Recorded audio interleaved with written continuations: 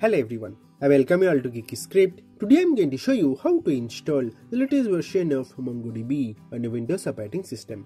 And after that, I'm also going to show you how to use MongoDB Compass, so how to create a collection, database, how to insert data, how to fetch that. So entire CRUD operation is what I'm going to show you on this video itself. So do watch the video till the end. I can guarantee if you watch the video till the end, you'll be learning a lot of new things and if you're still facing any issues, you can always ask me on comment sections and I'm also on Instagram now. So you can also follow me over there and you can ask all of your doubts over there as well. I'm definitely going to help you. So now to install MongoDB, first simply go to favorite browser and to search over here MongoDB download. Hit enter. So that will show you this mongodb.com. So just simply click on the first link and it's going to redirect to the official site of MongoDB. Here you will see that our MongoDB community server is available to download. So you need to scroll down over here and you will get this version 8.2.4 at the time of making of this video. So we are going to download the MSI one. So I'll keep it default. I'll just simply click on this download button and immediately we'll see that our MongoDB rightly started downloading so I have already downloaded it so I'll cancel this I'll minimize my browser I'll go to my download directory and here you can see that our MongoDB is rightly downloaded over here and the file size is 717 MB alright so everything is fine. Just simply double click on the installer. So welcome to MongoDB just simply click on next over here.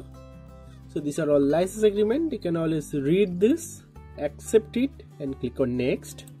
So here it is asking to select what type of installation you want whether you like to do complete installation or custom so here I'll always recommend you to select this complete installation and uh, here you need to keep everything as default so it's going to create a service name called MongoDB which is totally fine just keep everything as default and click on next so see it's going to also install MongoDB Compass along with MongoDB. So that's why we have this install MongoDB Compass option is also rightly checked.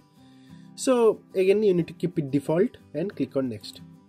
So ready to be installed, click on install and our installation is rightly begun. Before that it's going to also ask you for administrative privileges, click on yes and you can see that our installation for MongoDB is rightly begun let's minimize our download directory and uh, uh, wait for some time over here so by the time it get installed i'll request you please do consider subscribing our channel geeky syntax. So here also regularly i'm posting lot of coding related videos. So if you subscribe that's going to really motivate me to make more similar kind of videos. And also i have created lots of videos on wordpress. So you can also watch my other wordpress related videos on this channel. So all this detail one hour 30 minute video then you know one hour video so all these different you know videos you'll get on this channel. So i highly recommend you to watch all these different videos on our channel. All right. So yeah here let's wait for a minute. So welcome back. And now you can clearly see that our mongodb is actually installed. So now it is installing mongodb compass. So you can see that it has also opened this mongodb so welcome to compass and complete it so our mongodb is rightly installed. So good. Just simply click on finish. So welcome to compass so let's maximize it and just simply click on start.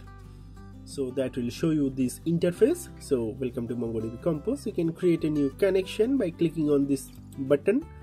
So uh, just enter a connection name. So let's give connection name something like my connection or my con. All right.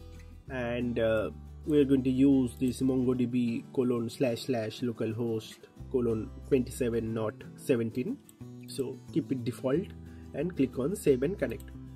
So immediately we'll see a connection called mycon created over here. And these are all default databases that come along with mongodb you know when you install so let's create a new uh, you know database. So just simply click on this plus icon and that will open this uh, create a database. So give some database name. So let's give database name as chess and let's give connection name as players. Alright and then just simply click on create database. So that will immediately start creating your database called chess and that has a collection called players. So you can add uh, your data. So just you need to click on this add data that will show you this import json or csv file or insert document.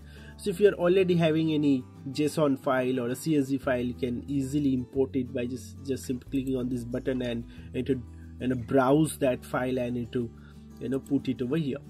All right. So I, will show you how to insert some data. So you need to click on that and that will show you this you know interface. So you need to click on this icon and uh, then you need to click on plus over here add a, a field after id and you can give any field name. So i'll just give uh, you know name and i'll give value let's say gukesh. So our current world chess champion gukesh. So i'll click on insert and immediately we'll see one row created over here. So the, if you want to create one more so there is a icon over here called clone document. So on clicking that. That will open this same window.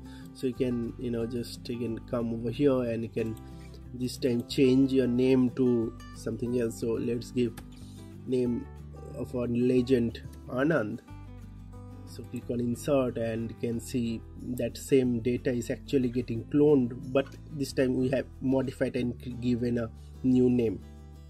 All right so let's say you want to edit anything so you can always click on this icon and you can you know edit anything. I'll cancel this. If you want to delete that also you can do. We have this button called remove document. So so just click on delete and there you go. So that's now gone. All right. So this way you can easily install mongodb and you can start working on your projects on mongodb compass next thing that i'm also going to show you about this MongoDB shell. So this MongoDB shell is now embedded into MongoDB Compass. So when you click on that, you can see in a fresh new tab, this MongoDB shell is up and running.